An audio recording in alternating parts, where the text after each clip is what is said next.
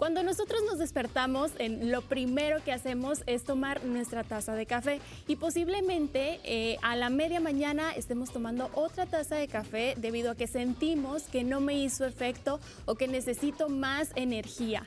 Esto puede que esté causándole eh, que su café no se absorba correctamente y no funcione como realmente esperamos, ¿no? Ese estímulo que me necesita dar el café. ¿Por qué? Porque en muchas ocasiones cuando despertamos, lo primero que hacemos es poner la cafetera y recuerden que las horas en las cuales nuestro cuerpo tiene sus picos de cortisol son por la mañana y a mediodía. Por eso se dice que aproximadamente entre 7, 8 y máximo 9 de la mañana es cuando nuestro cortisol está más alto. Recuerden que el cortisol es la hormona del estrés. ¿Y qué pasa al consumir café? hay una interacción farmacológico y sobre todo entre los nutrientes que, se, que están eh, presentes en el café, en el cual se suprime la función y generan ese efecto inhibidor, de tal manera que sentimos que el café no nos funciona estamos pidiendo otra taza de café, ya sea media mañana o media tarde. ¿Qué sería lo aconsejable? Que usted esperara mínimo una hora después de levantarse para consumir su hora de café y que de esta manera no interfiera con el cortisol. Ahora, a media tarde, aproximadamente a las 12 de mediodía, una de la tarde, es cuando se da el otro pico de cortisol. Si yo consumo el café acompañado de mis comidas, posiblemente también vea que esto se suprima y no me funcione y me estimule como lo espero. Entonces, ¿cuáles son las horas más aconsejadas? De 9 y media a 11, 11 y media y de 3 a 5 de la tarde. ¿Qué sucede cuando nosotros consumimos café por la tarde?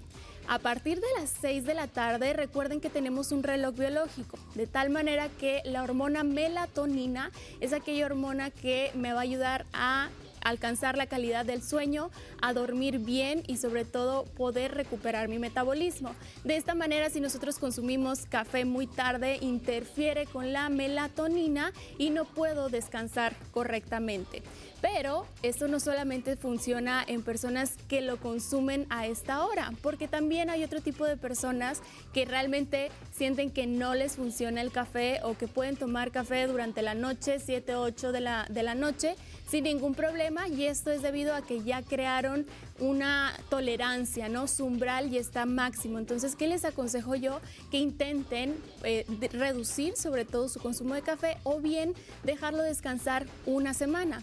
Yo sé que para los que somos fanáticos del consumo de café nos cuesta mucho trabajo, pero puede ser una de las mejores opciones para que usted pueda mejorar la, el estímulo que estoy esperando del café. Recuerden que el café no es malo porque hoy en día también le tenemos muchísimo miedo a su consumo. El café es muy bueno aquí el problema cae en que nosotros le ponemos 3, 4 cucharadas de azúcar y realmente eso es lo que termina perjudicándome. O bien crema batida, ¿no? Este recuerden que la crema batida es pura grasa saturada que se va a quedar en mi organismo y va a aumentar mis niveles de colesterol, triglicéridos y sobre todo mi perfil lipídico. Entonces no le tengan miedo al café, el café es buenísimo, sobre todo nos da mucha felicidad, mucha satisfacción, nos encanta por acá el Sonora el consumo de café, solamente hay que aprovechar estos beneficios ¿no? que me da. Ahora, el, café, eh, uno de sus beneficios es brindarme energía, pero ¿qué es realmente lo que pasa? Es que inhibe la adenosina, que realmente no es que el café tenga calorías y de tal manera me proporcione energía, no, sino que suprime estas funciones en las cuales yo me siento cansada y por ende yo puedo dar un extra, un cachito más de energía para que eso pueda funcionar muchísimo mejor, hablando ya sea del metabolismo o bien para aprovecharlo para hacer ejercicio físico. Su mejor entreno puede ser una taza de café, ya que todos los suplementos conocidos como pre-workout o bien preentrenos tienen cafeína dentro de su fórmula. Entonces usted tómese una taza de café al realizar ejercicio físico y va a poder potencializar los efectos que el café tiene y de esta manera que quede un máximo y pueda hasta perder peso. Por eso también lo asocian con la pérdida de peso, quema de grasa y demás.